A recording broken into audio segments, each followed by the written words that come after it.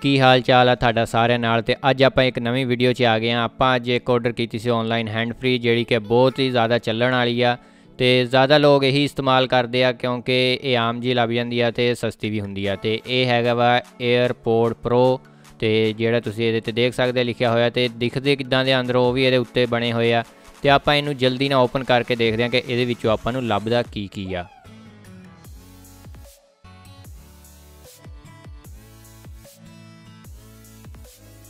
ਤੇ ਆਪਾਂ ਨੂੰ ਇਹਦੇ ਵਿੱਚ ਖੋਲਦੇ ਉੱਤੇ ਸਭ ਤੋਂ ਇੱਕ ਡੱਬੀ ਜੀ ਲੱਭ ਗਈ ਹੈ ਪੈਕਟ ਜਿਹਾ, ਜਿਹਦੇ ਵਿੱਚ ਇੱਕ ਮੈਨੂਅਲ ਆ, ਜਿਹੜਾ ਅਜੇ ਤੱਕ ਕਿਸੇ ਨੇ ਨਹੀਂ ਪੜਿਆ ਜਿਹੜਾ ਆਪਾਂ ਸਿਰਫ ਖੋਲ ਕੇ ਸਿੱਟ ਦਿੰਨੇ ਆ, ਤੇ ਉਹ ਵੀ ਮੈਂ ਵੀ ਪਰਾਂ ਕਰ ਦਿੱਤਾ ਵਾ। ਤੇ ਹੋਰ ਡੱਬੀ 'ਚ ਕੁਝ ਵੀ ਨਹੀਂ ਗਾ, ਇੱਕ ਇਹਦੇ ਵਿੱਚ ਛੋਟੀ ਜੀ ਡੱਬੀ ਆ, ਜਿਹਦੇ ਵਿੱਚ ਆਪਣੀ ਹੈਂਡ ਫ੍ਰੀ ਆ, ਉਹ ਤੋਂ ਥੱਲੇ ਦੇਖਦੇ ਆ, ਆਪਣੇ ਕੋਲ ਉਹ ਤੋਂ ਥੱਲੇ ਹੈਗਾ ਵਾ ਚਾਰਜਰ ਤੇ ਚਾਰਜਰ ਇਹਦਾ ਕਿਹੜਾ ਵਾ, ਇਹ ਮੈਂ ਤੁਹਾਨੂੰ ਖੋਲ ਕੇ ਦਿਖਾਣਾ ਵਾ।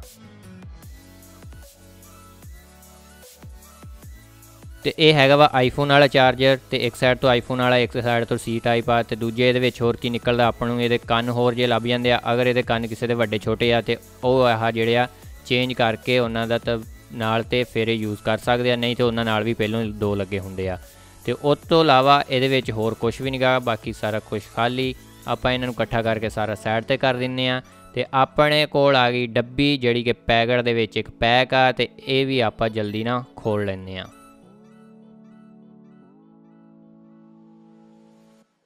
ਤੇ ਡੱਬੀ ਇਦਾਂ ਦੀ ਕੁਝ ਦੇਖਦੀ ਆ ਤੇ ਇਹਨੂੰ ਆਪਾਂ ਖੋਲ ਕੇ ਦੇਖ ਲੈਂਦੇ ਆ, ਇਹਦੇ ਵਿੱਚੋਂ ਦੋ ਹੈਂਡ ਫਰੀਆਂ ਆਪਾਂ ਲੱਭ ਗਈਆਂ ਵਾ, ਜਿਹੜਾ ਮੈਨੂੰ ਲੱਗਦਾ ਕਿ ਪਹਿਲੋਂ ਹੀ ਚਾਰਜ ਆ, ਨਹੀਂ ਤੇ ਜ਼ਿਆਦਾਤਰ ਕੀ ਹੁੰਦਾ ਕੋਈ ਵੀ ਇਦਾਂ ਦਾ ਗੈਜਟ ਮੰਗਾਈਏ ਜਾਂ ਕੋਈ ਚੀਜ਼ ਮੰਗਾਈਏ, ਉਹ ਪਹਿਲੋਂ ਚਾਰਜ ਨਹੀਂ ਹੁੰਦੀਆਂ। ਤੇ ਇਹ ਹੈਗੀਆਂ ਪਹਿਲੋਂ ਹੀ ਚਾਰਜ ਤੇ ਇਹਨਾਂ ਦੇ ਉੱਤੇ ਜਿਹੜੇ ਕਾਲੇ ਕਾਲੇ ਪਿੱਛੇ ਤੁਹਾਨੂੰ ਇੱਕ ਛੋਟੇ ਛੋਟੇ ਨਿਸ਼ਾਨ ਨਜ਼ਰ ਆਉਂਦੇ ਆ, ਇਹ ਇਹਨਾਂ ਦਾ ਟੱਚ ਆ ਜਿੱਤੋਂ ਤੁਸੀਂ ਕਾਲ ਨੂੰ ਚੱਕ ਸਕਦੇ ਆ, ਗਾਣਾ ਅੱਗੇ ਪਿੱਛੇ ਕਰ ਸਕਦੇ ਆ ਜਾਂ ਆਵਾਜ਼ ਕਮ ਜ਼ਿਆਦਾ ਕਰ ਸਕਦੇ ਆ।